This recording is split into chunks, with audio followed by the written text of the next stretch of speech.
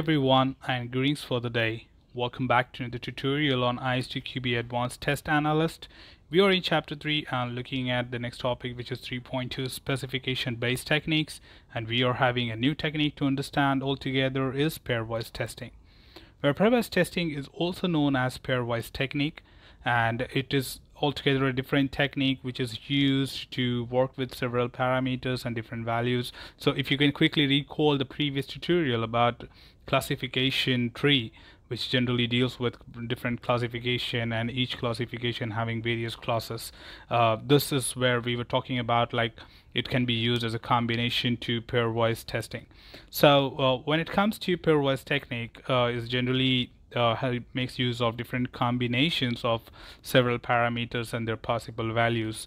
So uh, it is just like a combination where combinatorial testing, uh, classification testing, and uh, pairwise testing is used as a combined approach put together.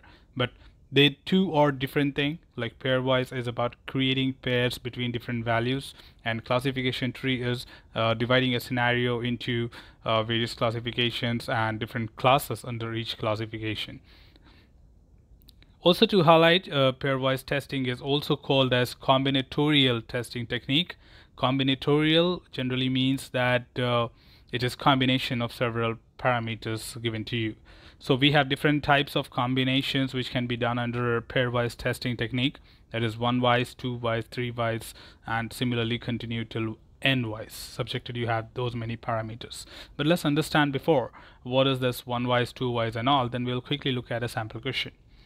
So here for an example say you have three different classification 1, 2 and 3 and there are three classes for each one of these classification like class 1, class 2 and class 3 and let's assume that there are several values which is uh, allocated for each classification. So like classification 1 has ABC similarly 2 has LMN and 3 has XYZ so when you talk about one wise basically you pick up any one of these classification and try with any combination of the other two or the remaining one so when you say one wise, that means one of the classification will be taken as base and the other two can be tested at least once with any combination of class 1.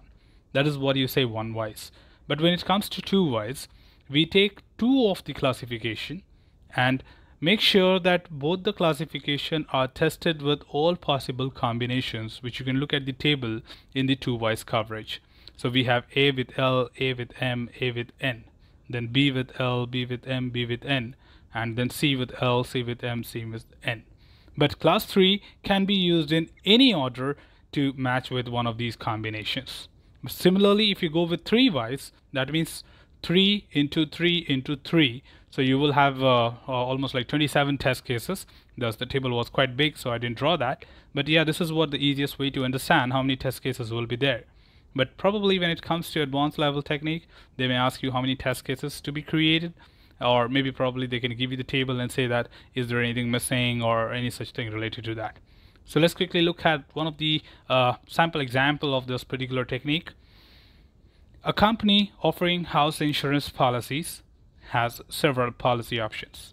They depend on the following factors like one is building type and there are four values for that house semi-detached apartment building or cottage.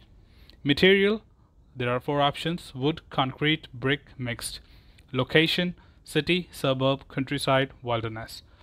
Now, if you see there are three classification and each classification have four classes or four different values.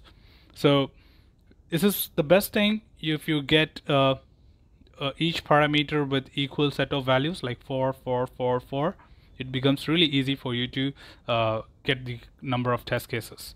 But when it comes to irregular, say for example, the first one has five parameters, second one has three, and third one has two.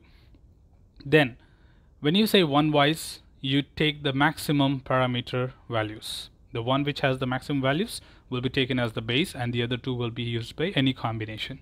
When you say two, the first two highest will be taken for the several combination. But if it is regular like this one, you can take any of the two when you want to do a two wise coverage, any of two because all of them have four. So any such combination must be tested.